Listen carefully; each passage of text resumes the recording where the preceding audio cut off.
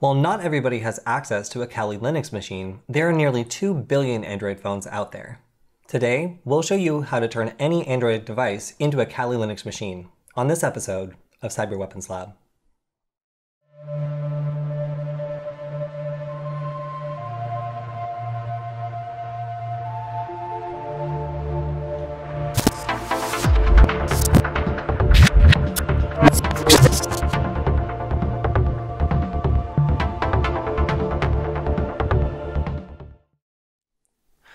Userland refers to the space outside of an operating system's kernel, meaning anything that doesn't actually have root access.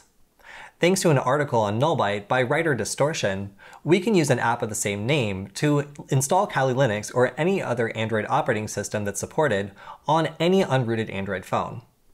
While this is pretty incredible, there are a couple limitations to this, but in general, you're able to communicate with the instance of whatever Linux device you want via SSH or VNC. Now, depending on what you want to run, this is a pretty important decision because VNC gives you a full graphic user style interface, whereas SSH is more simple but limits you to the command line only. Now today, we're going to explore some command line tools, so we'll be using SSH, but you can also check this out using VNC if you want to explore this with a GUI interface, maybe if you're a little bit more of a beginner and you want to be able to click around and have the kind of general interface experience you would expect with Kali Linux. Now, in order to follow along, you will need any unrooted Android phone. And in this example, I'll be using a Samsung phone, but you can use pretty much anything because it doesn't need to be rooted in order to work. Once you have one, then we can begin. Now, to get started with installing a Linux system on your Android device, you'll need to have a way of communicating with it. As I mentioned before, we're going to be using SSH to communicate with our instance of Kali, of Kali Linux. So to do so, we can go ahead and use the recommended app, which is ConnectBot, although I've downloaded Juice SSH uh, to go with a previous version that used to work, and I'm going to continue using it for this particular guide. They both work roughly the same, so you can use whichever one is your preference. Um, in general, I find that Juice SSH works just fine for SSH-based connections, although ConnectBot may work a little bit better for VNC. Now, once you have this installed uh, and we have a way to communicate, we need to download the Userland app. So you'll need to look for this icon and then go ahead and press install. And then once this download completes, you'll be able to open this up. And basically what will happen is you'll get a list of available operating systems that you can run. And these are very stripped down versions. So they won't have some of the tools that you might normally rec uh, recognize. Even things like ifconfig or ipconfig, all that stuff will just not work. So uh, in order to get that working, we'll need to install a couple things, and even installing that won't work until we do an update. So we've got kind of our list of things to do ahead of us, uh, and it's gonna be a little bit of work before we get there, but once we do, we'll be able to run some really interesting tools without needing to rely on rooting our device. Now that this is installed, let's go ahead and open it for the first time. And we'll see there should be a list of different operating systems, and while initially we needed to work with Ubuntu, we can, or Debian, we can now go ahead and download Kali directly, although as I mentioned before, this is going to be a very stripped down version of Kali Linux. So it'll need uh, the ability to access our storage, so we'll click OK, and this will allow us to be able to actually download this and um, have a little drive on our system that's hosting this Linux system. So here we'll go ahead and type in our information. And then a password. And then a VNC password.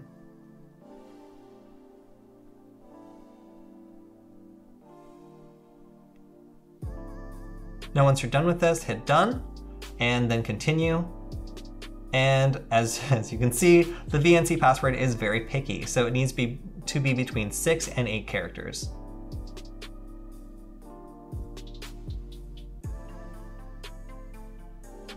All right, there we go. Um, I'm not gonna save this. And then as soon as this is done, we'll need to select a type of connection that we want to um, use to connect with this uh, device. So we'll go ahead and click SSH and we'll be able to create this Kali Linux instance and then communicate with it via SSH as soon as the download and unpacking of the Kali Linux files is complete. All right, now that it's downloaded the app, you can see that it's copying it to local storage, and then after it extracts everything, this should be set up and ready for us to start working with. Now we'll need to select which type of connection we're going to use, and since previously we indicated SSH, we're going to be using our tool that we downloaded in the first step, which is either going to be ConnectBot or Juice SSH, depending on which one you decided to go with. Once this process completes, we should see something asking us which one we want to select. Here we go. Now, initially, this will try to drop us into our SSH default program. So I'm going to go ahead and type in the password I set,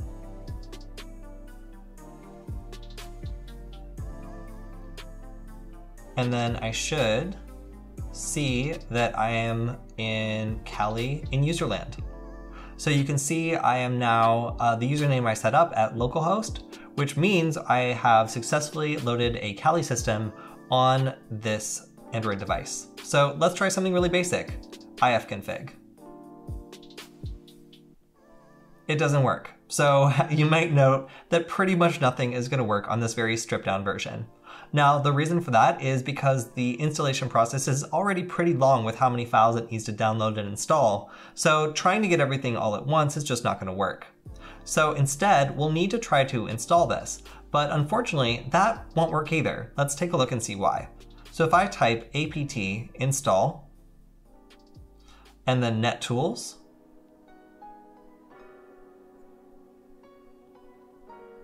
you can see that, oops, I also need to be sudo.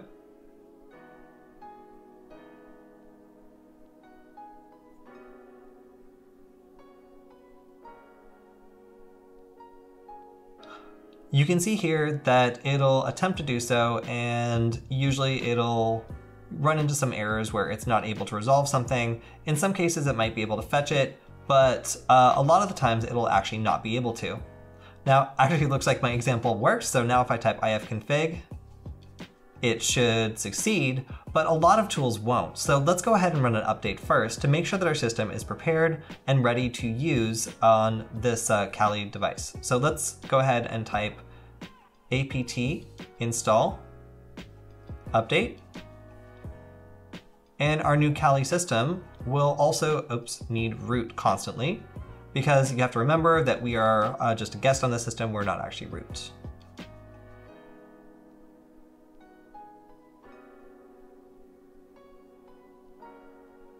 So then once this update finishes, let's see, oops.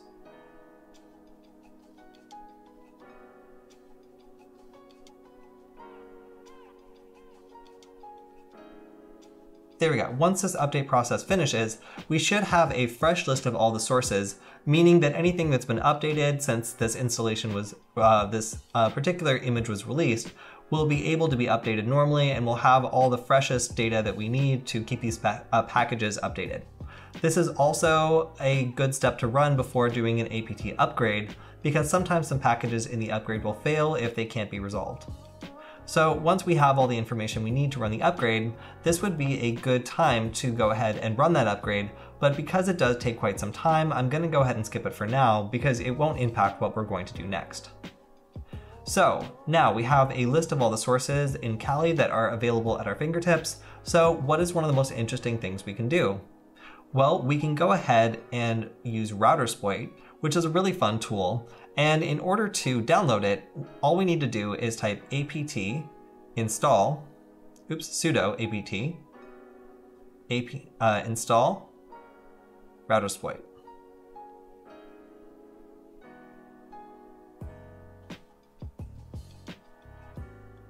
Now you can see just like this, we'll type uh, Y for yes, and we can go ahead and install this really interesting and fun tool to use against routers and embedded devices on a network and be able to use it from any Android device with a um, maybe five minute installation on a fast internet connection.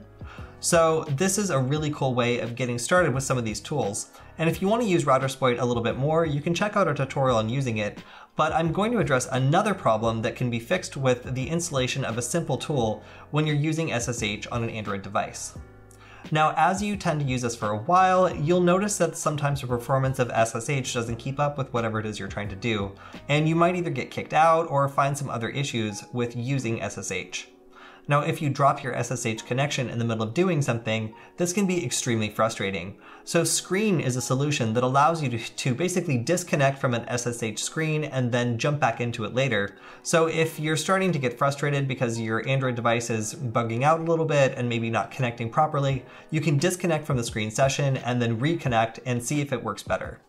This is really useful because you can even theoretically pass a screen session between devices if you're using SSH on maybe a server or Raspberry Pi. So Screen is an amazing tool if you want to manage multiple SSH sessions or if you're dealing with something just by SSH. So as soon as this finishes installing Routersploit, we'll go ahead and install Screen and we can do the same thing with other tools that are really useful to have on an Android device like Netcat. There we go. Now to install Screen, you can just type ap sudo apt install screen.